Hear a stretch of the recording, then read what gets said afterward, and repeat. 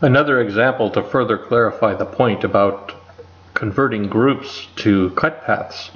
Um, you can see that each one of these star shapes at the moment is an individual shape. And I understand that you can highlight around these and you can G group them and now they're a group. And if you want to individually select between them, you can select around them like this and hit G, or excuse me, I hate to take, I'll take that back. Um, you can individually select around them and then use your, I guess it's the shift key? No, it's not. It's the control key. Uh, I'm running two different programs and you guys reverse the keys on me. But I could hit control and say, well, I don't want that one or this one or this one or this one. And then you can hit G and group. And yeah, it groups those stars together. Um, again, uh, when you get down into something like this, and you say, well, I want this one, and I want uh, this one and this one and this one and this one, you know, the ones that are not touching uh, to be routed with one bit and the other ones uh, to be routed with a different bit. Let's go that one too. Okay, now we have several stars that are not touching. I can group them, and yes, they're grouped together. Then I can come along and um, I can um, select all of them, hit control that, and it'll knock out. Well, no, it selects that group. I wanted it, I wanted it to knock them out. um, hmm, I'm trying to figure out how to do that. Hmm. If uh, let's see, we got one group there. See, this is where it starts to get confusing. And when you get into, you know, plasma cutting, I know when you think about plasma cutting, well, it's a flat piece of metal, and once you cut this hole, you're not going to cut another hole around it because the star will have fallen out, you know, and, and, and that, well, that works for plasma cutting. But when you get into routing, you get patterns that overlap each other because this one will be cut an eighth of an inch deep, this one will be cut a quarter of an inch deep, this one will be cut three quarters of an inch deep, etc. And when, when you start talking about three-dimensional capabilities of the machine and you start talking about routing as opposed to plasma cutting, the rules change. And so the software kind of needs to change with it. So we turn around and we say, okay, well, here's a group amongst all of these individual stars. Okay?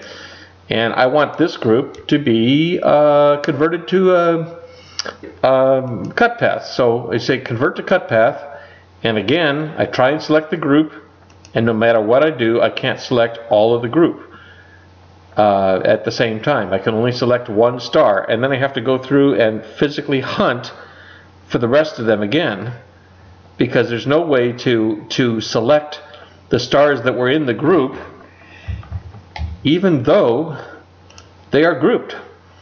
So I guess what I'm asking is, is there a way to say, here's a group, convert group, to cut path. And uh, you know that that would be something nice to add if it's not if it's not already uh, a, a, possibility there, or maybe I'm missing some keystrokes or something. But that's just an, an, another demonstration of what I'm talking about. Uh, you can group them like this, and you can use the control key to selectively deselect the ones you don't want included in that group, or you can group them all together. And for plasma cutting, that works out just fine.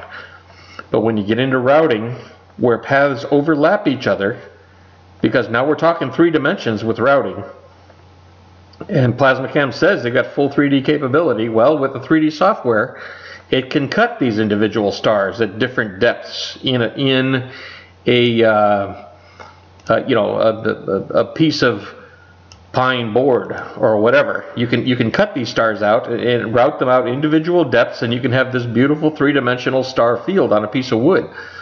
But it's very difficult to do because you don't have the ability at the moment to say these stars will be one quarter of an inch depth and uh, then you can come along and say okay I want this one and this one and see I, I can't even tell which ones I've already selected so oh not that okay that one and that one and no not that one see what I'm talking about it makes it difficult to decide which patterns you've already chosen and which ones you haven't See, now we, we can group that again, group.